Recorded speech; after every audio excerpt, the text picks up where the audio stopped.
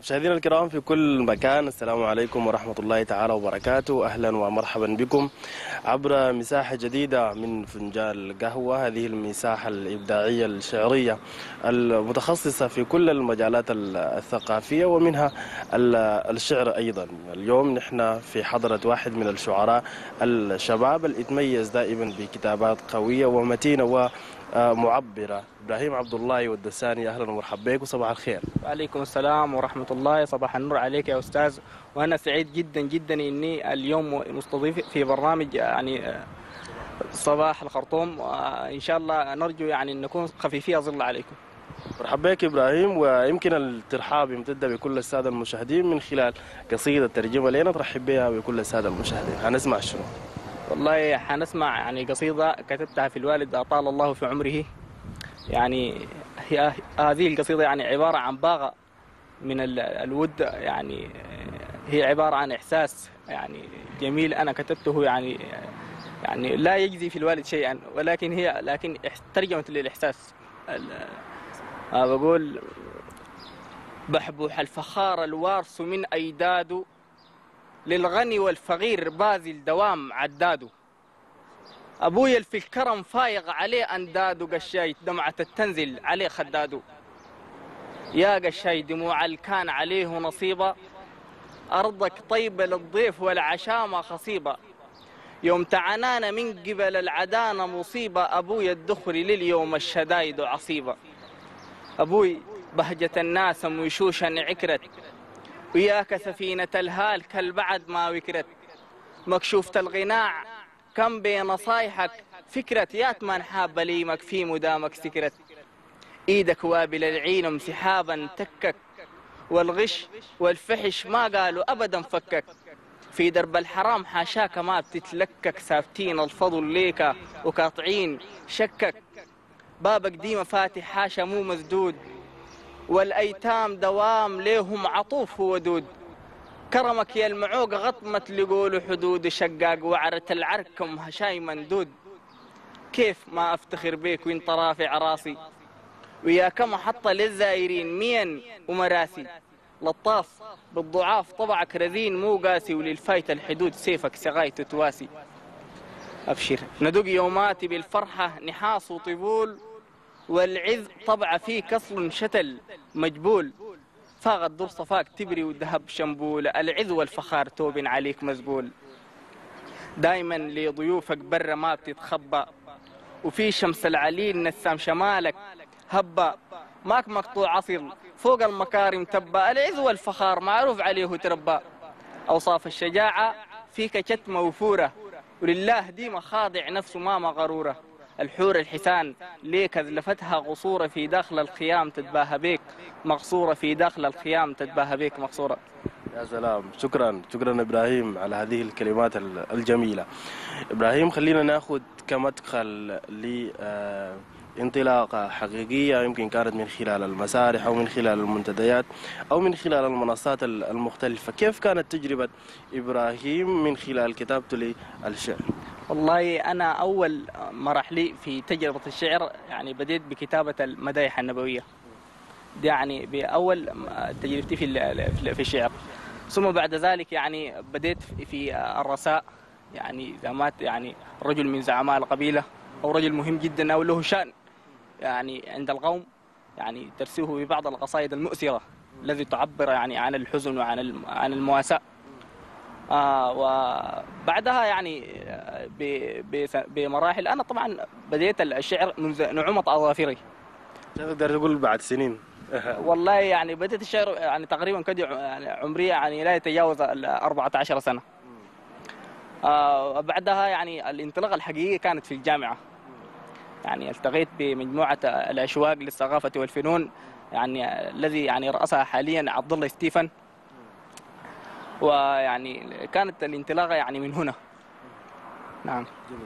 آه إبراهيم برضو خلينا يعني ناخذ كمدخل من من القصائد دائما بيتم يعني الجمهور كل ما تمشي مكان بيطلب منك إنه القصيدة يعني تلقيها. شنو من القصائد المحببة لك يعني؟ الآن ممكن نسمعها والله القصيدة يعني كانت الجمهور بيطالبني بها يعني عند يعني يعني وقوفي في المنصة. هي القصيدة يعني في الغزل طبعا.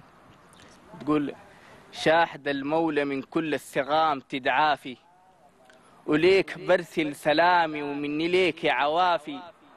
يا سمحة نفل ست الجمال الوافي بيك أصبحت شاعر وفيك نظمت غوافي. لما تغيبي بسأل شان أشوف أخبارك وبس يا سمحة ما بتحني لي خبارك. بينات البنات والله وافي عبارك شلت الحسن وديتيه انت غبارك. زهرت السوسن الفوح عبيرك وعرفك خايف يلقاك سعودي ومن نشيلك غرفك. عليك اسم الله يا الظبي المكحلة طرفك أغدر ظرفي. زي ما قاعد أغدر ظرفك في البنوت جميع ملكة وعليه نميرة حكيمة وفاهمة لكن بالعلي هي بصيرة.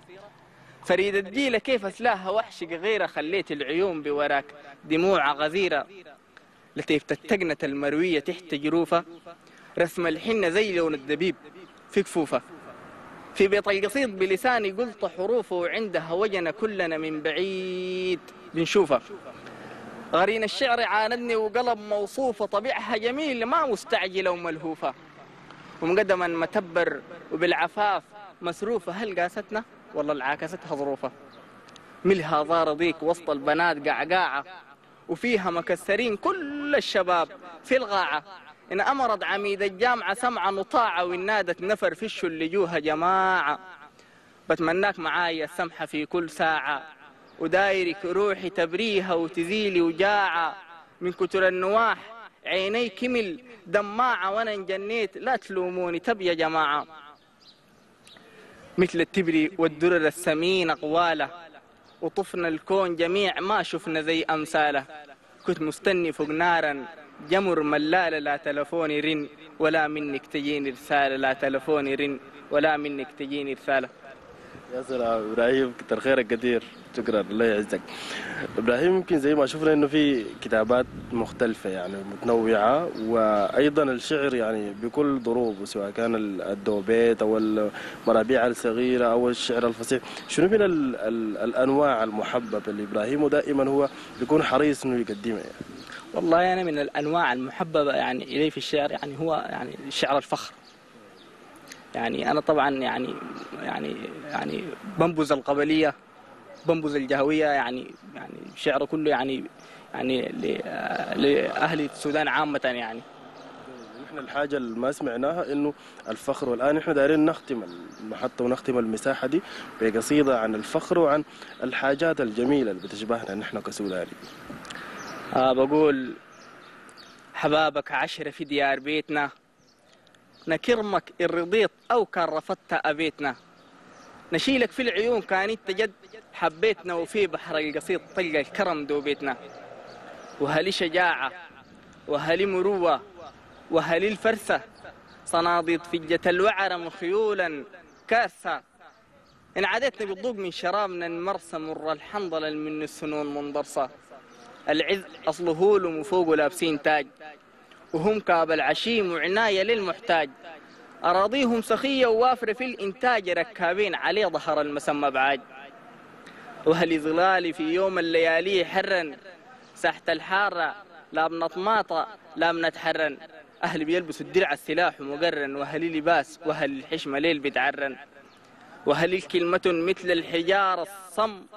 تماسيح لجة الواهية اللي بتبلع نم العدانة أصبح في مزلة وغم والخوان بنشيل من قصاد الهم. مين الغير نبسند بعدل المتكية ومين اللي الضعاف وقت المجاعة تكية؟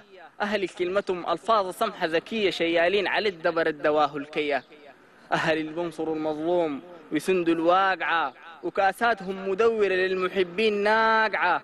أهل في الكرم واضحين شموس فاقعة طيبين سيرة لكن في المعارك صاقعة طيبين سيرة لكن في المعارك صاقعة. يا سلام. إبراهيم عبد الله والدساني شكرا. جزيلا لك. تنورتنا من خلال هذه المساحة. آه والله بنورك يا أستاذ. يعني الله يديكم العافية. يعني وان شاء الله يعني يكون لنا في العمر بقية لنقدم المزيد. يعني. الله ومنايات التوفيق والسداد. شكرا جزيلا. شكرا. شكرا جزيلا. بنتواصل معكم مشاهدينا الكرام في كل مكان من خلال صباح الخرطوم. اكتملت هذه المساحة ولكن صباح الخرطوم ما زال يحمل الكثير من المساحات.